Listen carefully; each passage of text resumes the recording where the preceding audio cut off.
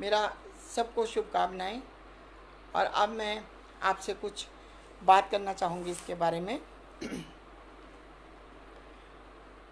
भाई कवि राम भगत नेगी एक बहुत ही अच्छे और स्वार्थहीन इंसान हैं, जिन्होंने हम कवियों को इतना बड़ा स्थान दिया।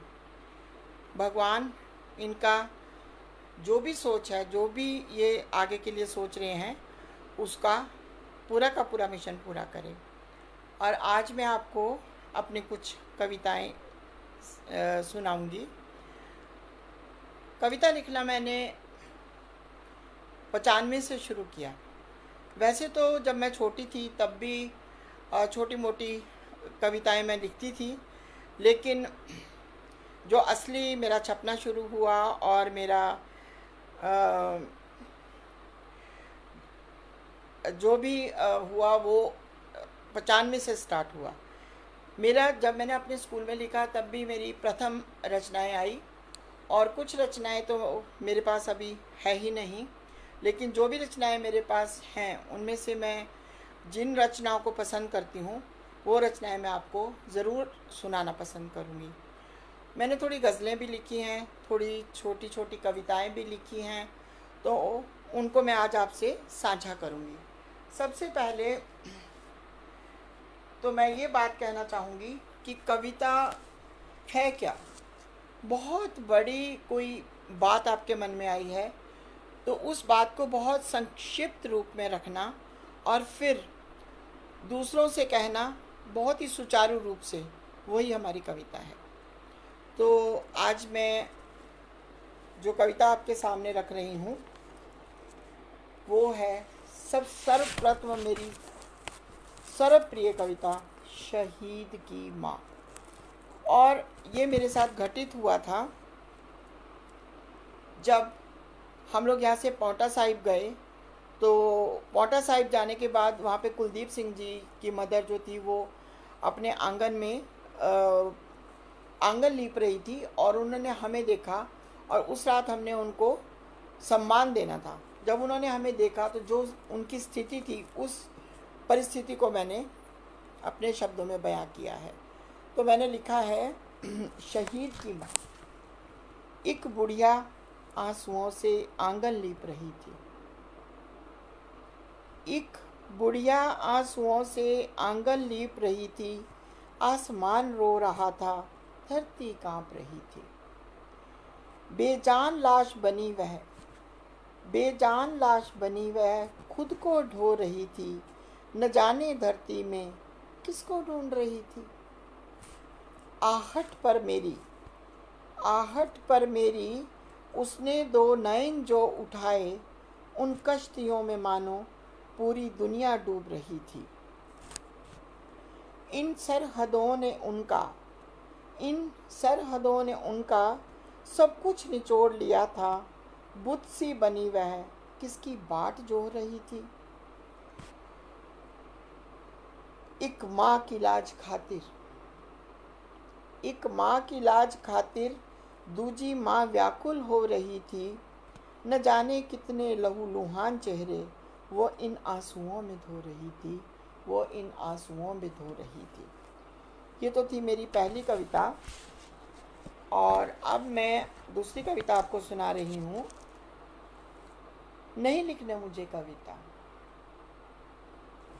नहीं लिखनी मुझे कविता, नहीं बांधने जज्बात शब्दों में। नहीं बांधने जज्बात शब्दों में दुखाने नहीं हैं मुझे इन नादान अक्षरों के दिल।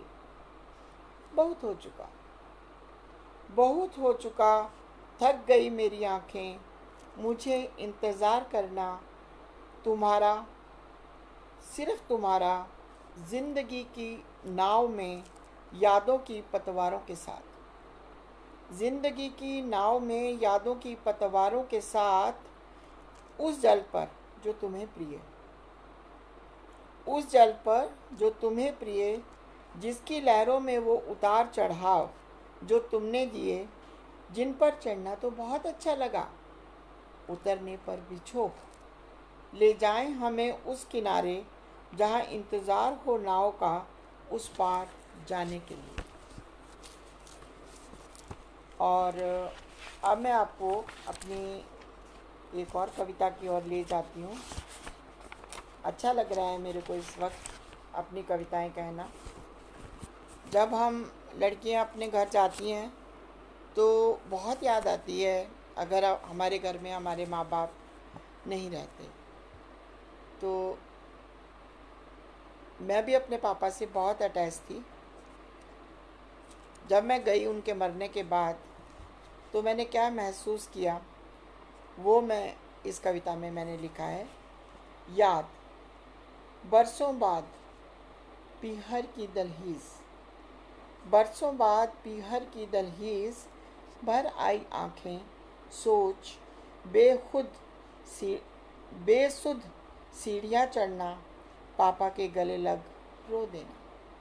हर एक का उनके आदेश पर, हर एक का उनके आदेश पर गिर्द घूमना, खूंटी पर टंगा काला कोट।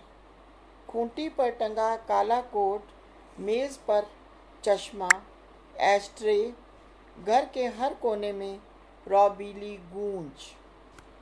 आज घूरती आँखें, आज घूरती आँखें, रिश्तों को निभाती आवाज़ें।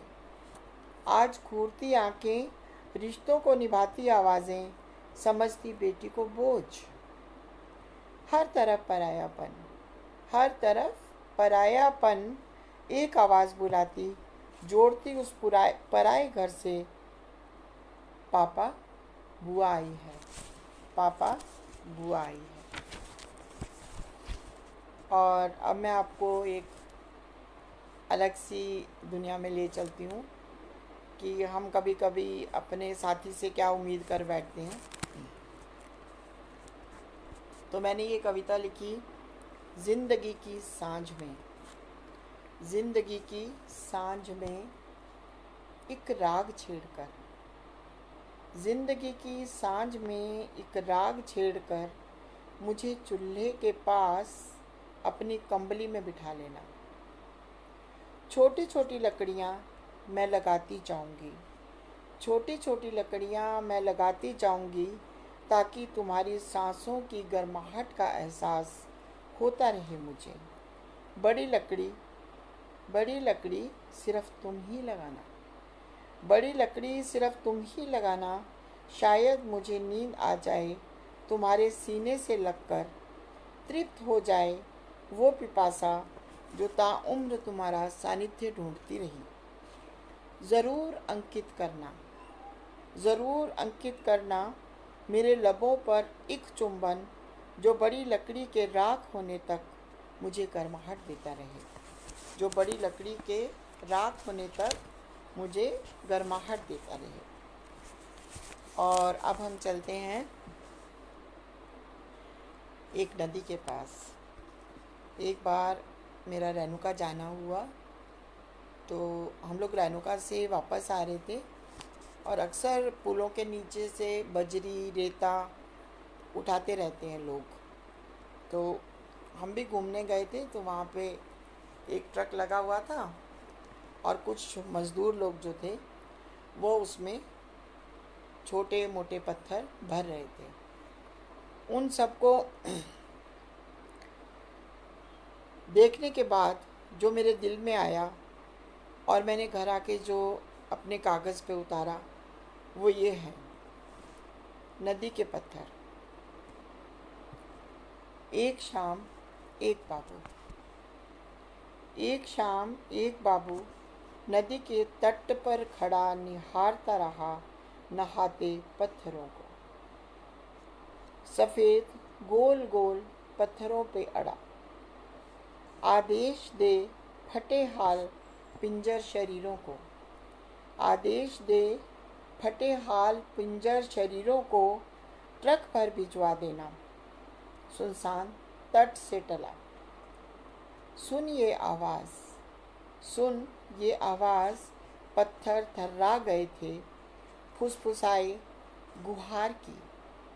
फुसफुसाए गुहार की कि बीच में बड़े पत्थर ने पहली बार बड़े प्यार से बात की। चुन लिए गए हो, भिजवा दिए जाओगे। चुन लिए गए हो, भिजवा दिए जाओगे। किस किस बंगले की शान तुम कहलाओगे। चीखों से नदी गूंज गई। चीखों से नदी गूंज गई। रोए बड़े छोटे सब मिलकर, सब पत्थर गले लगकर सोच कल लाखों प्रहारों को। सोच कल लाखों प्रहारों को, हज़ारों टुकड़ों को हौसला दिया बड़े पत्थर ने। विदाई दर्दनाक हो उठी। विदाई दर्दनाक हो उठी, सिसका बड़ा पत्थर भी आज। सिसका बड़ा पत्थर भी आज विडम्बना सब कुछ देखते देखते ट्रक नन्हे मुन्नों का दूर, अति दूर दूर, अति दूर हो गया। आप यकीन नहीं करेंगे कि जब भी कभी मैं ये कविता पढ़ती हूँ तो मेरा मन भी भर आता है और मेरी आँखें भी भर आती हैं। और मुझे ऐसा लगता है कि ये जो पत्थर थे, ये उन बड़े पत्थरों के बच्चे थे। दोते पोते थे और इनको कोई ले गया। मैंने ऐसी कविताओं के बाद कुछ छोटी कविताएँ भी लिखी हैं। जैसे मेरी एक कविता है, तस्वीर। और मैं आपको सुनाना चाहूँगी। तस्वीर कविता। न जाने क्यों चुपचाप जड़ सी खड़ी जला गई तुम्हारी तस्वीर। न जाने क्यों चुपचाप जड़ सी खड़ी जला गई तुम्हारी तस्वीर। खत अतीत की धरोहर। जी जी भर रुलाया, सांत्वना दूर रखी, विडंबना जला नहीं पाई। जला नहीं पाई तस्वीर दिल के कोने की, जो हर वक्त हिलाती है मेरा अस्तित्व। जो हर वक्त हिलाती है मेरा अस्तित्व। अब है एक और छोटी सी कविता। कितनी खतरनाक। कितनी खतरनाक। अरमानों की कैद। कितनी खतरनाक अरमानों की कैद। हर जवाब में खामोशी। हर जवाब में खामोशी। सारे इल्ज़ाम सिर पर ले खुद को मिटाना। सारे इल्ज़ाम सिर पर ले खुद को मिटाना, दुश्मनों को दोस्त कहना।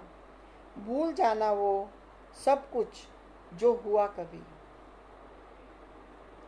भूल जाना वो सब कुछ जो हुआ कभी, आंसुओं में भी मुस्कुराना व आहें मिला देना खिर खिला कर हंसने में। कितनी खतरनाक अरमानों की कैद, हर जवाब में खामोशी।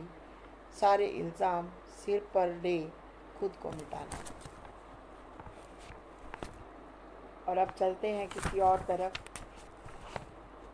आपको एक और कविता सुनानी है। और वो मेरी कविता जो है, जाने से पहले। जाने से पहले जाने से पहले ज़रा ध्यान से देख लेना। जाने से पहले ज़रा ध्यान से देख लेना तुम्हारे दिल के आँगन में मेरे प्यार के पोरों के निशान तो नहीं रह गए। जाने से पहले ज़रा ध्यान से देख लेना तुम्हारे दिल के आँगन में मेरे प्यार के पोरों के निशान तो नहीं रह गए। पोछ देना दो बूंद आंसुओं से।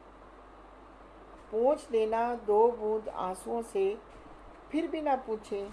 तो इतनी ज़ोर से मत पहुँचना कि खरोंच आ जाए तुम्हारे दिल पर। ढाप देना यादों की उस चादर से जिसे ओढ़कर हम और तुम उस बड़े पत्थर पर बैठे थे कभी। एक और मेरी कविता है, सोच। असल में मैं ये सोचती हूँ कि जो हमारी सोच होती है, जो भी हम सोचते हैं, उस सोच से ही हमारा आगे सब कुछ बनता है। तो अगर हम अच्छी सोच सब लोग मिलकर रखें तो उस सोच से हमारा देश, हमारा गाँव, हम जहाँ रहते हैं, वो सारी जगह सही हो सकती है। तो सोच है, सोच व्यक्तिगत न होकर सामूहिक हो जाए। सोच व्यक्तिगत न होकर सामूहिक हो जाए। समूह उसे समाज को, समाज राष्ट्र को, राष्ट्र विश्व को सौंपे। वो जनहित में लगा दे तो सोच सोच नहीं, सर्वोच्च भी नहीं, वंदनीय हो जाती है। क्योंकि हम कोई भी काम उससे कर सकते हैं।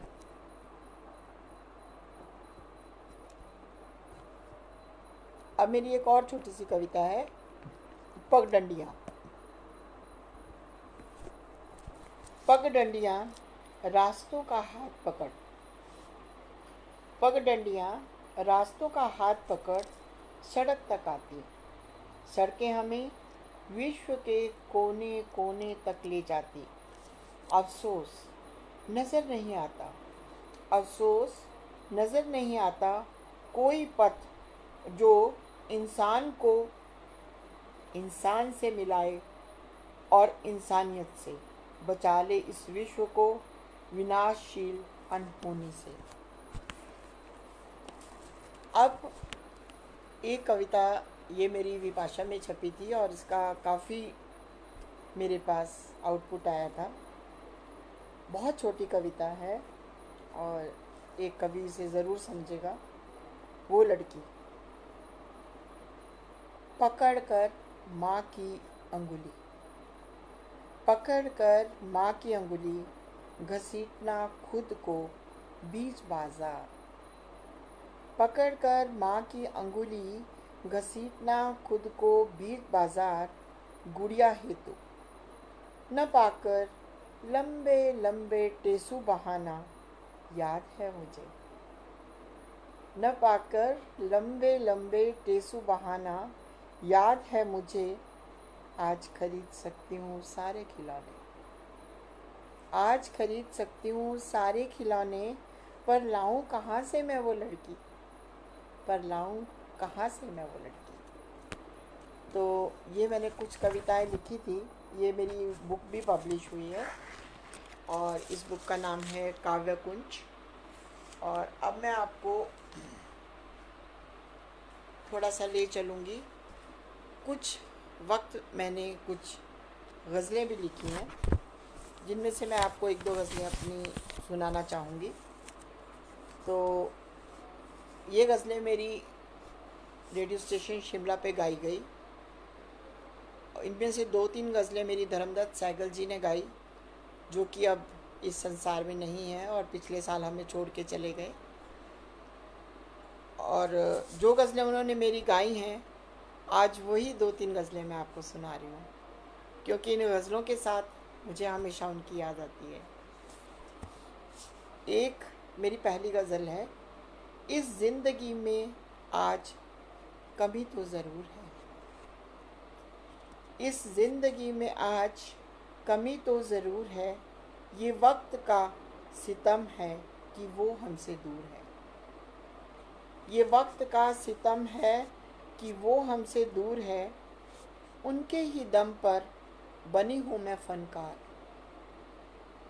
उनके ही दम पर बनी हूँ मैं फनकार, इस बात का मुझे यकीनन गरूर है। मिलकर क्यों बिछड़ना होता है यहाँ? मिलकर क्यों बिछड़ना होता है यहाँ? ज़िंदगी रूबरू हुई, लगा यही दस्तूर है। ज़िंदगी रूबरू हुई लगा, यही दस्तूर है। यादों में तेरी चिराग बुझ न जाए। यादों में तेरी चिराग बुझ न जाए। आज उतर रहा जवानी का सुरूर है। किस कदर किनारा काटा उसने शबनम? किस कदर किनारा काटा उसने शबनम? हम हाथ पसारे खड़े रहे। वो कितना मगरूर है। हम हाथ पसारे खड़े रहे, वो कितना मगरूर है। और एक मेरी और गज़ल है, कुछ कर्म कीजिए। कुछ कर्म कीजिए। ये नाहन में एक फ़ंक्शन के अंदर भी उन्होंने गाई थी और रेडियो स्टेशन पे भी गाई थी। कुछ कर्म कीजिए, कुछ रहम कीजिए। कुछ कर्म कीजिए, कुछ रहम कीजिए, अपनी यादों में हमको रकम कीजिए। दरमिया बीच कुछ भी न रहे शबनम। दरमिया बीच कुछ भी न रहे शबनम, वक्त जाए नहीं फैसला कीजिए। हम समेटे समंदर चले जा रहे। हम समेटे समंदर चले जा रहे मिलकर एक बार हमको रुला दीजिए। मिलकर एक बार हमको रुला दीजिए। क्षमा खुशियों की जलती नहीं है कहीं। क्षमा खुशियों की जलती नहीं है कहीं। फूक से अपनी उसको बुझा दीजिए। कब मिले हैं ज़मी आसमाए शबनम। कब मिले हैं ज़मी आसमाए शबनम। अपने हाथों से चादर ओढ़ा दीजिए। ये उल्फत है। ये उल्फत है जहन। क्या करेगा यहाँ? ये उल्फत है जहन, क्या करेगा यहाँ? दिल तो मिटता नहीं, जा मिटा दीजिए। दिल तो मिटता नहीं, जा मिटा दीजिए। नींद आती नहीं, फूलों पर भी हमें। नींद आती नहीं फूलों पर भी हमें धूप बन करके शबनम मिटा दीजिए। धूप बन करके शबनम मिटा दीजिए। और एक और मेरी कविता है, जो मैं आपके, सॉरी, गज़ल है, जो मैं आपके साथ साझा करना पसंद करूँगी। खत लिख रही हूँ। खत लिख रही हूँ, अहदे मोहब्बत को तोड़ के। खत लिख रही हूँ, अहदे मोहब्बत को तोड़ के। कागज़ पे आंसुओं की जगह छोड़ छोड़ के। खत लिख रही हूँ, अहदे मोहब्बत को तोड़ के। कागज़ पे आंसुओं की जगह छोड़ छोड़ के। कल रात गज़ल लिखने बैठी तेरे नाम से।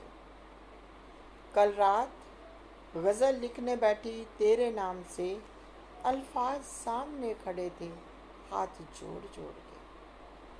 अल्फाज सामने खड़े थे, हाथ जोड़ जोड़ के। ये दास्तान इश्क भी कितनी तवील है। ये दास्तान इश्क भी कितनी तवील है, जिसे पढ़नी पड़ी है वर्क। मोड़ मोड़ के। और वक्त ऐसा भी आया है जीस्त में जिसमें ज़िंदगी। और वक्त ऐसा भी आया है जीस्त में दो, दोस्त मिलते हैं मगर मुँह मोड़ मोड़ के। दोस्त मिलते हैं मगर मुँह मोड़ मोड़ के। पशेमा क्यों है मेरे दिल को तोड़ के? पशेमा क्यों है मेरे दिल को तोड़ के? मैं तो चली जाऊँगी तेरा शहर छोड़ के। मैं तो चली जाऊँगी तेरा शहर छोड़ के। और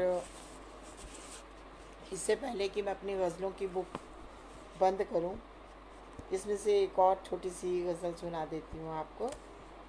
इंतज़ार ज़िंदगी का करते करते, इंतज़ार ज़िंदगी का करते करते मौत भी ना आई, हमें मरते मरते।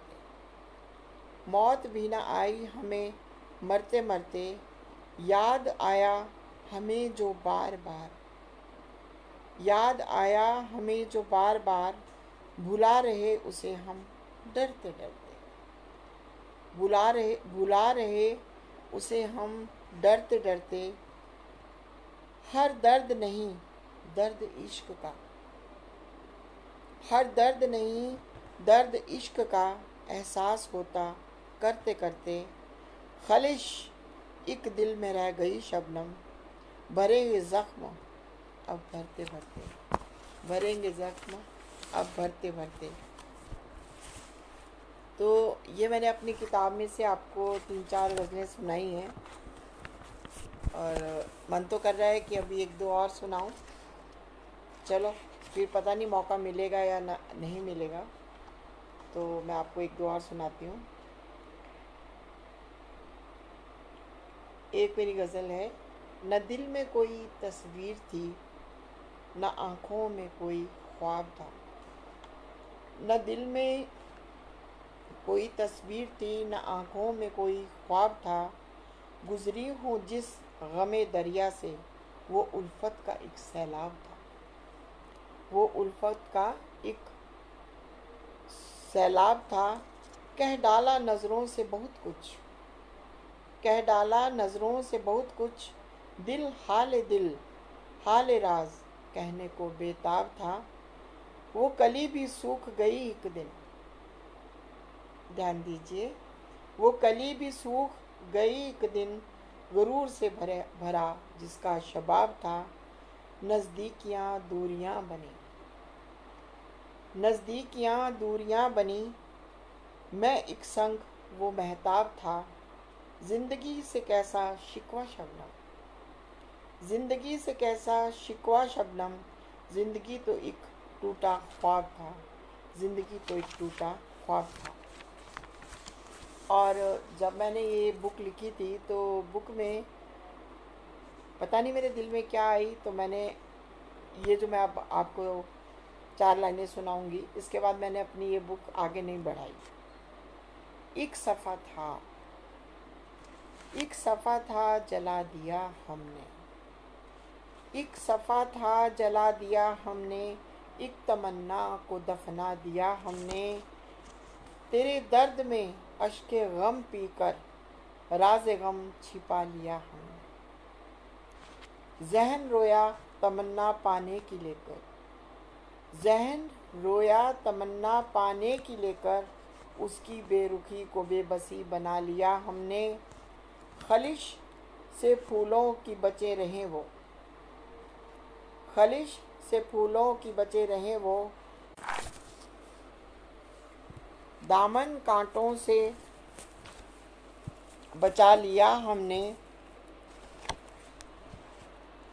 खलिश से फूल, खलिश से फूलों की बचे रहें वो। दामन कांटों से बचा लिया हमने। सरे बज्म जीत से विद्या, विदा किया शबनम। सरे वज्म जीस्त से विदा किया शबनम, खुश रहो, दिल को समझा लिया हमने। तो ये मेरी कुछ गज़लें थी जो मैंने बहुत पहले लिखी 2002 2002 के बाद फिर मैंने गज़लें लिखनी थोड़ी बंद कर दी और उसके बाद फिर कविताओं का दौर रहा और कुछ कविताएँ मेरी काफ़ी मशहूर हुई हैं। और आपको आज एक बात साझा करना नहीं भूलूँगी कि मेरे पास, मेरी कोई भी कलेक्शन आज तक ऐसी नहीं है जो छपी ना हो। और, कम से कम भी अगर छपी होंगी तो ढाई हज़ार से ऊपर मेरी कविताएँ और गज़लें छपी हैं और तीन सौ तक लघु कथाएँ मैंने लिखी हैं। तो बीच में मैं आपको एक छोटी सी लघु कथा सुनाती हूँ और उसके बाद फिर मैं आपको अपनी कविताएँ सुनाती हूँ जो मैंने अभी लिखी हैं। मेरी एक लघु कथा मुझे बहुत प्रिय है कि एक बहू आई घर में तो जब लड़के की शादी रखी जाती है तो हमारी बहुत ज़्यादा उम्मीदें होती हैं उस लड़की से। और लड़के से भी होती हैं कि नई नई बहू ने आना है, अब ये होगा, वो होगा। तो एक माँ बहुत कुछ सोचती है उसके बारे में। तो माँ ने अपना बच्चे, उस बच्ची के लिए सारे कपड़े, सब गहने, सब कुछ बना के रख लिए। और जब वो आई तो उसको मुँह दिखाई में एक कंगन दिए। और कंगन दे के उसने उसको क्या कहा कि, बिटिया, ये कंगन मुझे तुम्हारे पति की दादी ने दिए थे। मतलब मेरी सास ने दिए थे। और मैंने कुछ दिन ये पहने। बहुत भारी थे। तो कभी कभी मैं पहनती थी और अब मैं ये धरोहर तेरे को दे रही हूँ। बहू ने वो कंगन ले लिए। ले लिए और पहन भी लिए। उसके बाद उसने अपना घर का काम शुरू कर दिया और वो कंगन उसने रख दिए अपनी अलमारी में। तो करवा चौथ आया। जब करवा चौथ आया तो माँ की ये बड़ी तमन्ना थी कि अब जो हमने इसको गहने दिए थे, जो इसको कपड़े दिए थे अच्छे वाले और उनके साथ ये ये वाले कंगन पहने। तो उन्होंने उसके कमरे में जाके उसको बोला कि आज तेरा पहला करवा चौथ है और बेटा तू निकाल के वो कंगन लेके आ और वो वाले कंगन आप पहनना तो वो लड़की एकदम सक पका गई और उसने क्या किया? अपनी माँ को, अपनी सास को एक सेट दिखाती है और कहती, माँ, मैंने तो वो कंगन तुड़वा दिए और मैंने ये सेट बनवा लिया। तो आप सोचिए, उस माँ की भावनाएँ किस तरह से हुई होंगी, जिसने बरसों उसे संभाल के रखा था, क्योंकि वो एक ख़ानदान की धरोहर थी।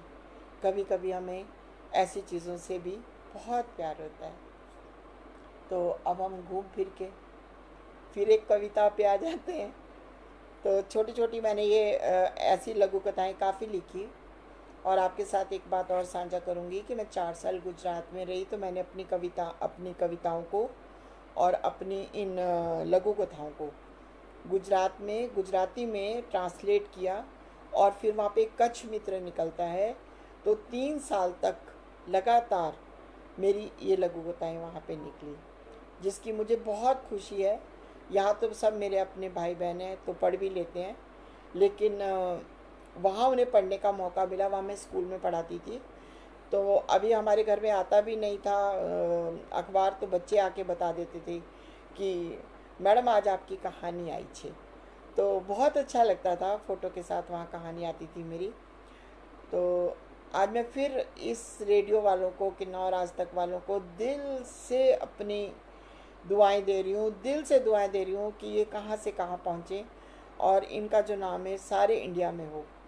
क्योंकि आ, कुछ ऐसी बातें जो हम अभी मीडिया पे नहीं कर सकते लेकिन एक लेखक के लिए ये सब कुछ बहुत बड़ी बात है।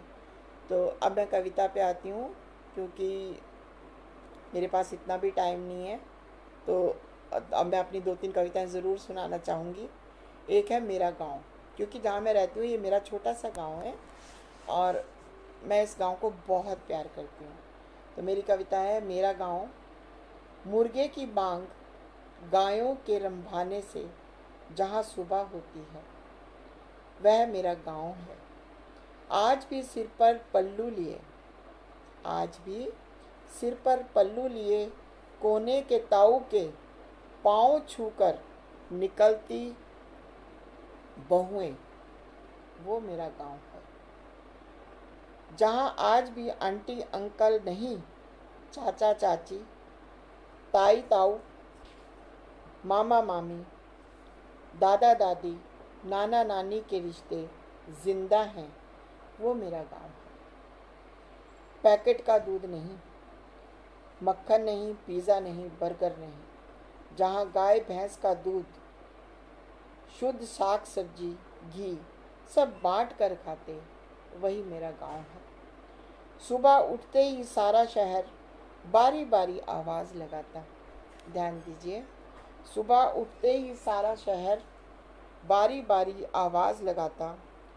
कभी सूट ले लो, चादर ले लो, गैस ठीक कराओ, कुकर ठीक कराओ, पुराना सामान देकर नया ले जाओ, मशीन ठीक कराओ, ताज़ी सब्ज़ी ले लो, कि आवाज़ें आती, वही मेरा गाँव। है एक आवाज़ सुन इकट्ठे हों जहाँ। एक आवाज़ सुन इकट्ठे हों जहाँ। बल फरेब से का कोई प्रश्न ना यहाँ। शुद्ध हवा, शुद्ध पानी का वास जहाँ। आज भी कोयल की कूक और चिड़ियों की चिंची यहाँ। यही मेरा गाँव है, यही मेरा गाँव है। और अब मैं आपको सुनाती हूँ। कि जब हम अपने बड़ों के साथ रहते हैं तो शायद हमें उनका महत्व तो पता नहीं चलता। लेकिन जब वो चले जाते हैं तो क्या होता है? जो मैंने महसूस किया, और आप भी यही महसूस करते होंगे कि बड़ों के होने के बाद एक इतिहास खत्म हो जाता है। एक इतिहास खत्म हो जाता है एक बुज़ुर्ग के जाने पर। घर का ताला थे वो, यादों की खान थे वो। याद है मुझे, याद है मुझे शादी ब्याह जन्मदिन पर वो रटे रटाए गीत गाना, ठिठोली करना, हंसना और हंसाना। पकड़ पकड़ कर ले जाते लोग, पकड़ पकड़ कर ले जाते लोग, पूछते रिवाज हर मौके का। पूछते रिवाज हर मौके का, बच्चे भी ना चूकते आते हर रोज़, मिश्री की डली लेने प्रसाद हेतु। पोपले से मुँह से कुछ गलत शब्द बोलना, फिर खुद ही हंसना। पोपले से शब्द से कुछ गलत शब्द बोलना, फिर खुद ही हंसना और इशारों से समझाना कभी कभी अपनी पुरानी तस्वीरें दिखाना। जिसमें हर पोशाक का बखान करना, बताना, मक्की के दाने, गेहूँ का भूजा, चावल की खीर और दाल की कचौड़ी। रात को बच्चों का दादी दादे को घेरना, उनसे ढेरों कहानियाँ सुनना, उनके मुँह की तरफ़ एक टक देखना। बहुओं का, बड़ी, अचार, लड्डुओं का अंदाज पूछना। कि किस अंदाज से बनाएँ, कितना कितना डालें, बेटों का दादी माँ के नुस्खों से ठीक होना। कभी रामलीला तो कभी दंगल का बखान करना। अंग्रेज़ों के वक्त को, का बताकर सिहर जाना। फिर भोर में जल्दी उठना व रात को जल्दी सोना। आज घर की दीवारों, किवाड़ का फुसफुसाना वो आवाज़ क्यों बंद हो गई? वो आवाज़ क्यों बंद हो गई? वो आवाज़ कहाँ गुम हो गई? वो आवाज़ कहाँ गुम हो गई? एक इतिहास क्यों ख़त्म हो गया? एक इतिहास क्यों ख़त्म हो गया?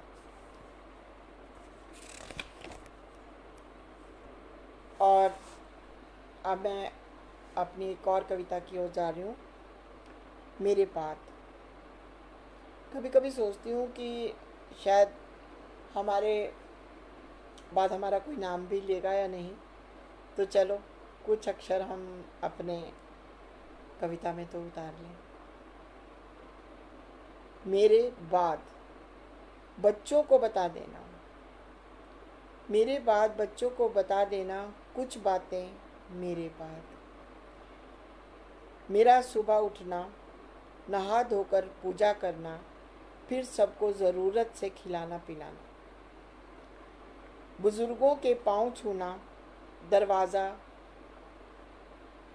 खटखटाना और मुस्कुरा कर खोलना। मुझे ताई, चाची, दादी, आंटी नहीं, सिर्फ़ मुझे ताई, चाची, दादी पुकारना, आंटी नहीं, बता देना, काम करते वक्त मेरा कुछ गुनगुनाना। थपकियों से तुम्हें जगाना। थपकियों से तुम्हें जगाना, दिन में कुछ उदेड़ बुन करना, फिर तुम्हें पढ़ाना। कनखियों से देख सबकी ज़रूरतें पूरी करना, तुम्हारे देर से आने पर तुम्हारा कान खींचना, बताना उन्हें सब दालों के नाम, बताना उन्हें सब नातों के नाम। वो रिश्ते जो तुमने जिए। और अब कोई नहीं जी पाएगा, बताना उन्हें कठपुतली का नाच। बताना उन्हें कठपुतली का नाच, सपेरे की बीन। और और सारंगी पर कालू की धुन, शनि का दान और प्यारे का पान। जो दुकानें होती छोटी छोटी उसके बारे में। दिखाना उन्हें करोशिए का मेरा बुना रुमाल। दिखाना उन्हें करोशिए का बुना मेरा रुमाल। तुम्हारा छोटा सा मोजा और स्वेटर, जो हाथों से बुना था कभी मैंने। खिलाना पिन्नियाँ। खिलाना पिन्नियाँ, खीर, फिरनी और आटे का हलवा। छीन लेना चाउमीन, पिज़्ज़ा और बर्गर। दिखाना मेरी तस्वीर और कहना ये मेरी माँ है, मेरी मॉम नहीं, ये मेरी माँ है, मॉम नहीं मॉम नहीं।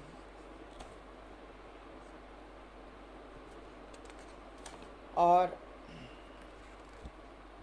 अब हम चलते हैं कि एक माँ सुबह उठती है और सुबह उठ कर कौन कौन सा वो काम करती है। तो शायद हम अब पड़ाव की ओर जा रहे हैं। तो मेरी ये कविता है रिवाज। जो काम घर में माँ करती है, वो एक रिवाज ही बन जाते हैं कि हमारे घर का ऐसा रिवाज है। हम ऐसे बोलते हैं, सुबह उठ बुहारना आँगन। सुबह उठ बुहारना आँगन, झाड़ना पूरा घर। नहा धोकर दिया बाती जला। नित ताकना एक बार सभी दरवाज़ों की ओर। नित ताकना एक बार सभी दरवाज़ों की ओर, जो अभी नहीं, अपने वक्त पर चाय की चुस्कियों के साथ खुलेंगे। वह आवाज़ आएगी, माँ, क्या है? सुबह सुबह ही छटर पटर करती हो। नींद नहीं आती तुम्हें? सुनकर अनसुना कर चल देती। सुनकर अनसुना कर चल देती रसोई की ओर बनाती इन नाशुकरों के लिए नाश्ता। ये नाशुक्रे ही हुए ना जो अपनी माँ का उप, हमेशा उपहास करते रहते हैं। कभी रोटी कभी पराठा और थका लेती खुद को। सभी पेट भर खाते पर उठते हुए कभी कहना ना भूलते माँ मोटे हो जाएँगे। माँ मोटे हो जाएँगे, कुछ हल्का फुल्का बना दिया कर। चुपचाप देखती, सोचती। उन दिनों को जब हाथ में रोटी लिए, मक्खन की डली के साथ रोली पोली बना लड़ लड़ कर छीना झपटी करते खाते थे ये बच्चे। अभी बासन भी न मजते अभी बासन भी ना मजते कि दोबारा भूख भूख करते थे ये बच्चे। थमाती थी मकई गेहूँ का भूजा, साथ में छाछ। शायद ये सच्चाई है सब माओ की। थमाती थी मकई गेहूँ का भूजा, साथ में छाछ और चढ़ाती चूल्हे पर दाल की हांडी, बीनती चावल, गूंथती आटा, दोपहरी निपटते ही शाम और फिर रात कब हो जाती? पता ही न चलता। आज कंधे पर कंप्यूटर का बैग लिए निकलते, पूरा दिन कुर्सी पर बैठते। पूरा दिन कर, कुर्सी पर बैठते, वज़न बढ़ा लेते, गड़ाए आँखें सामने, अकड़ा लेते हाथ पाँव, बढ़ा लेते अपनी तोंद। व शिकायत करते उसी माँ से, जिसके हाथ भी जले सिके उनका पेट भरने के लिए। सुनकर सबकी शिकायतें, सुनकर सबकी शिकायतें फिर भी मलाई उतार, गिलास भर थमाती सबको दूध और कहती, पी लो पी लो इसमें अब मोटा होने का तो कुछ भी नहीं। माँ जानती है सब। माँ जानती है सब। रिवाज, सब ढंग। वो खिला ही देती है अमृत, जो आज नहीं, कल पता चलेगा उसके बच्चों को। जो कल पता चलेगा उसके बच्चों को। और अब मैं आपके साथ साझा करूँगी। एक कविता।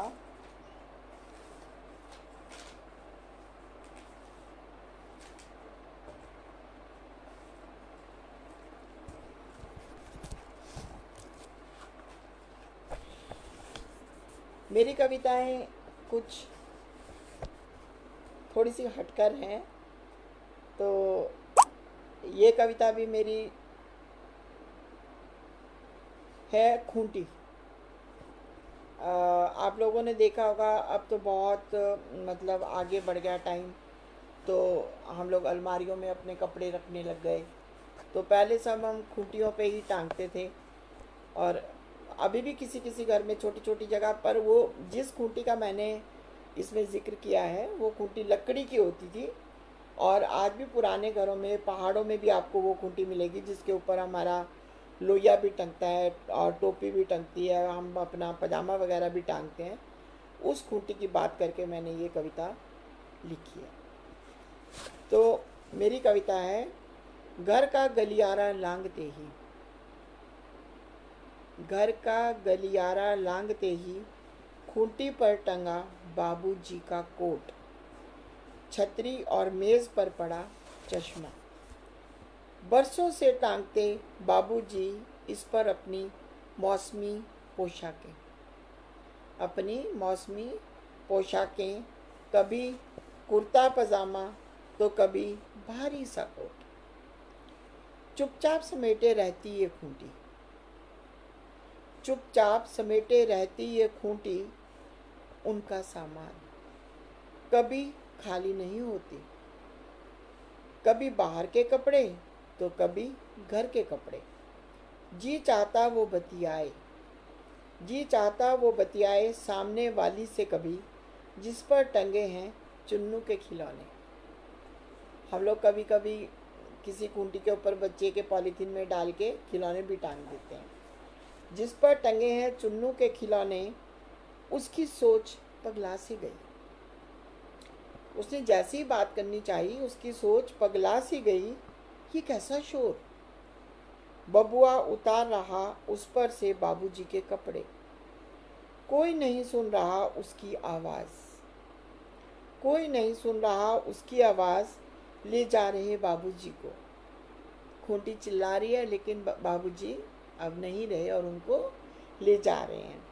जो उसे अपना दोस्त समझते थे, रो रही खूंटी पर नहीं पहुँच रहा कोई उसके आँसू। आवाज़ धीमे से आई। आवाज़ धीमे से आई उस अंदर की कील से, जिसने था थामा उसे बरसों अंधेरी कोठरी में रहकर दीवारों में बिन सांस लिए।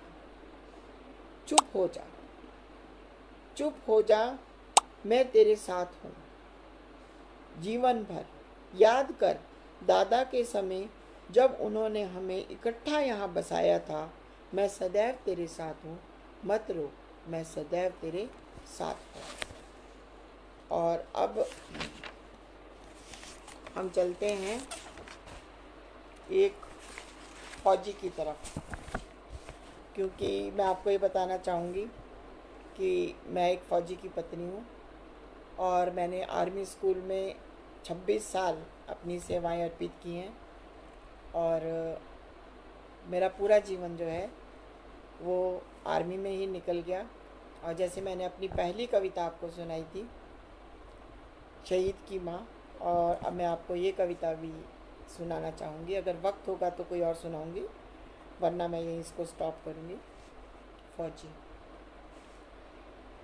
फौजी भी एक इंसान है हमारी तरह। फौजी भी एक इंसान है हमारी तरह। जिसे हमारा समाज, महज जिम्मेदारियों का गट्टर समझता है। वह करता है सदैव एक अलग सी उम्मीद। ताजुब तो तब होता है जब वह भी बना लेता है खुद को।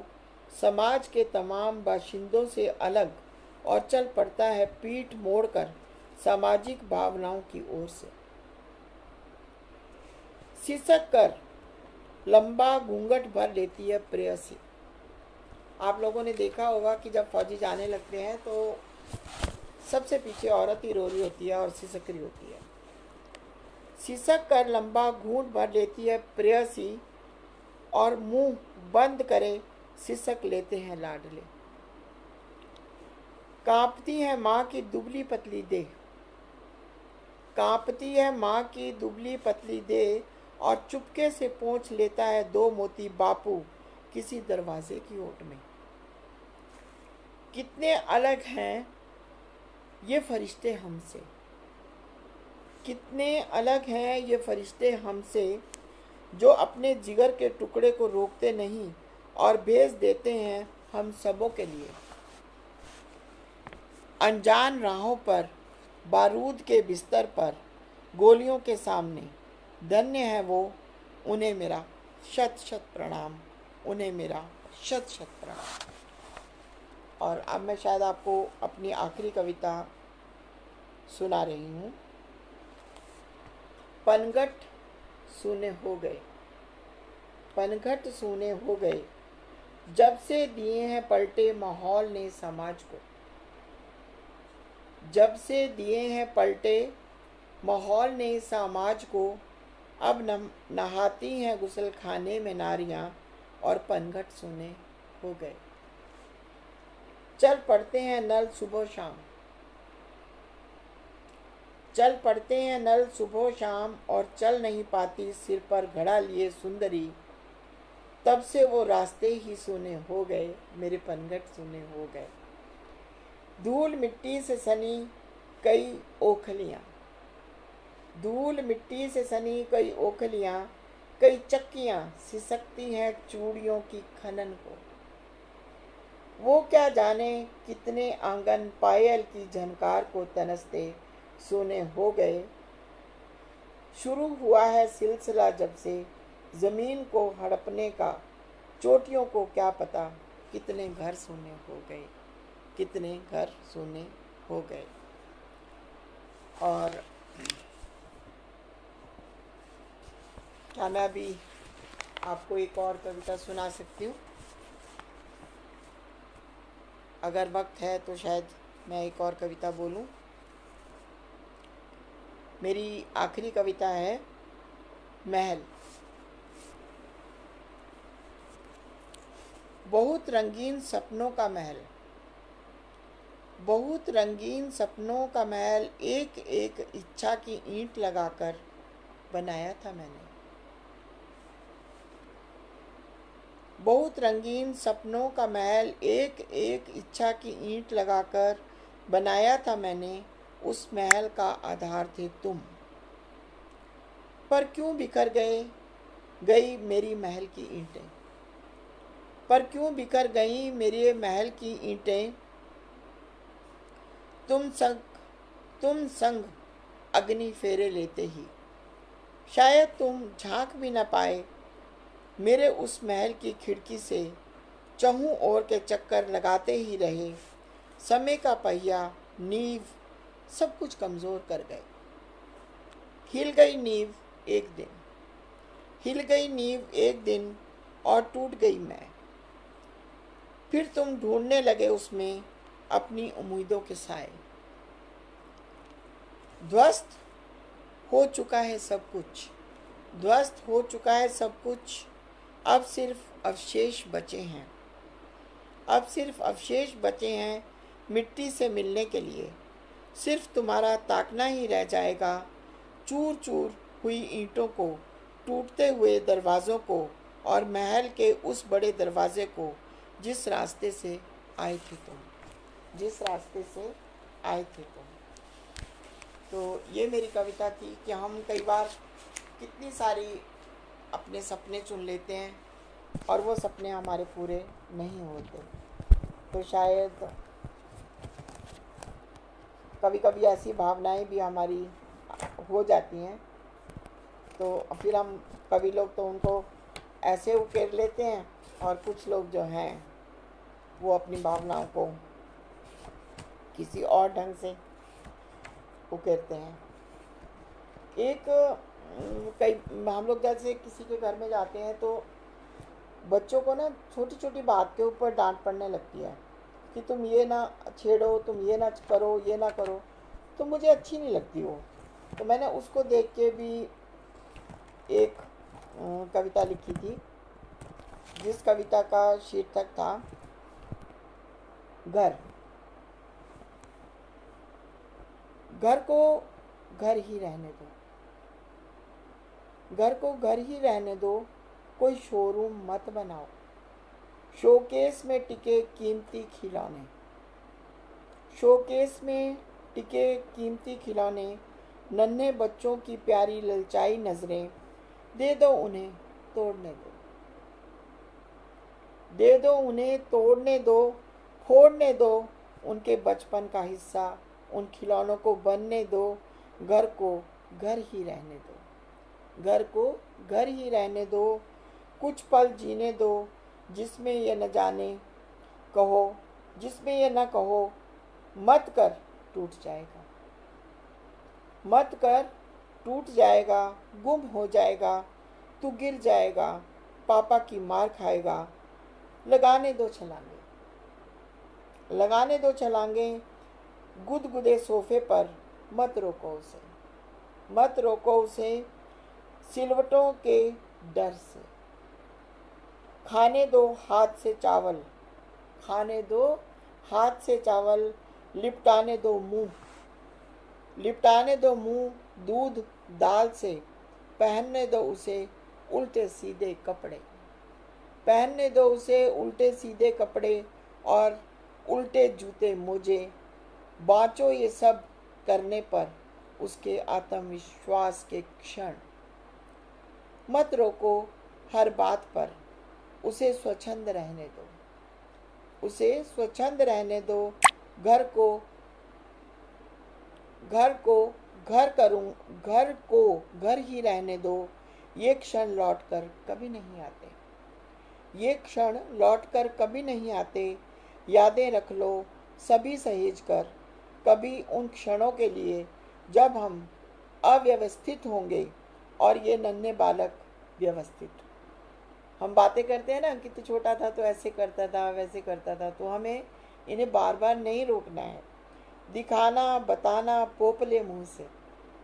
दिखाना, बताना, पोपले मुँह से उनकी ये शरारतें कि वो भी बनाए अपनी औलाद को स्वतंत्र व घर को घर ही रहने दो, बस घर को घर ही रहने दो, कोई शोरूम मत बनाओ।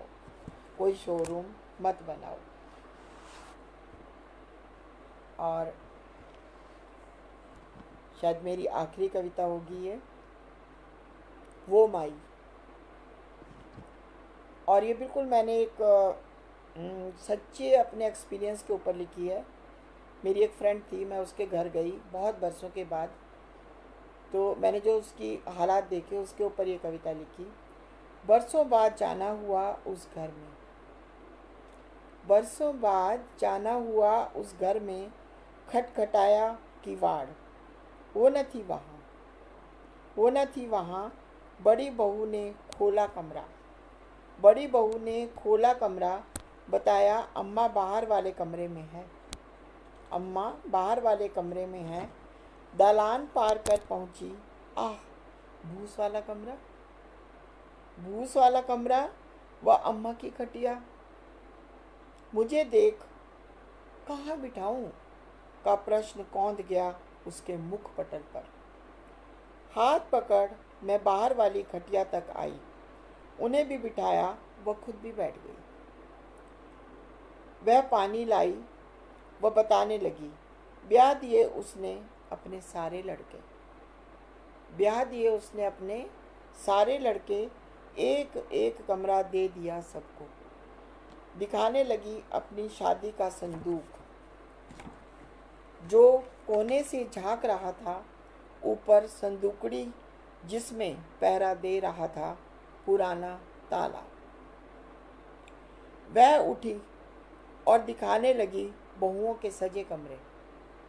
वह उठी और दिखाने लगी बहुओं के सजे कमरे, सिहर उठी मैं।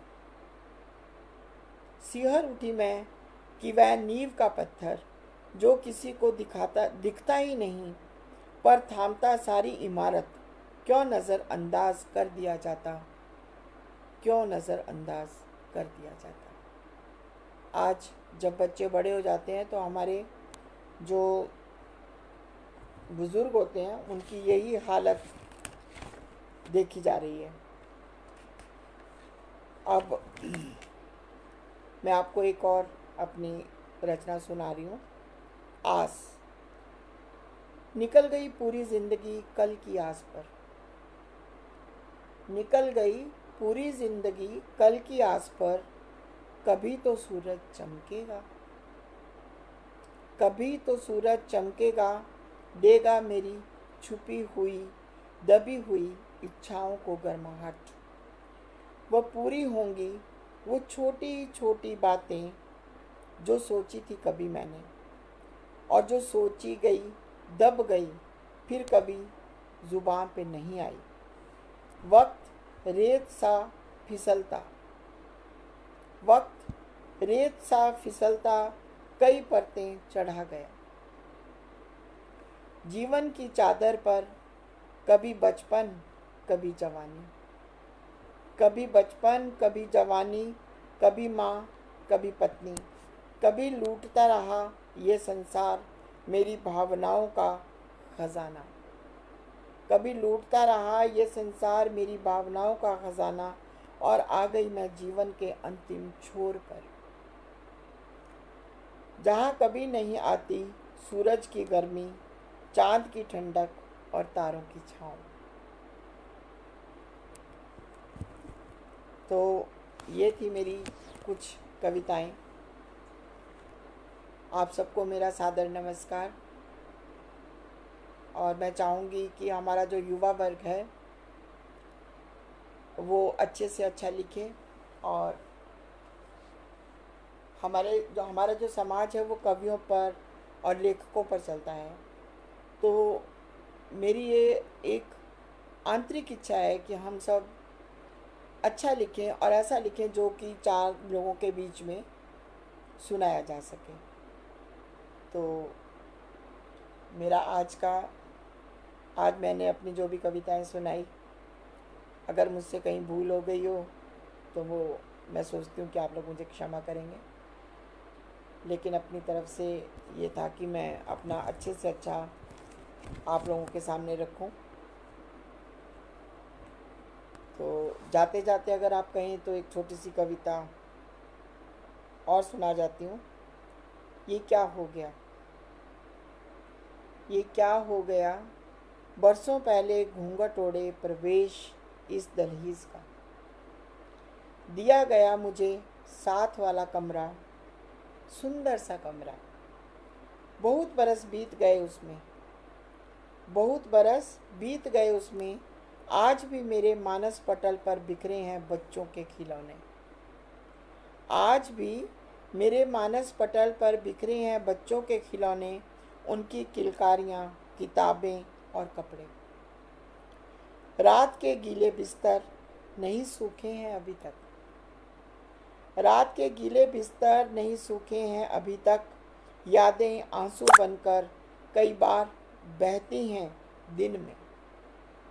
कई बहती, यादें आँसू बनकर कई बार बहती हैं दिन में। साथ वाला मांझी बाबूजी का कमरा। साथ वाला मांझी बाबूजी का कमरा, जिसमें दो खटिया, एक मेज, उस पर गिलास और पानी, कुछ जोड़ी कपड़े, जूते और कोने में मंदिर, मनोरंजन के लिए रात को बच्चों संग खेलना। उन्हें कहानी सुनाना, लोरी दे दे कर सुलाना।